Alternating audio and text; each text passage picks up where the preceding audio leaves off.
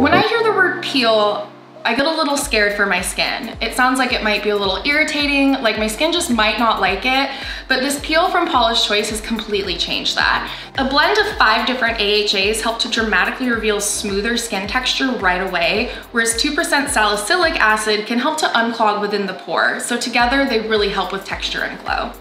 This peel is so selfie worthy. It has butterfly pea flower, which gives it a really pretty purple hue, and it's really soothing for the skin.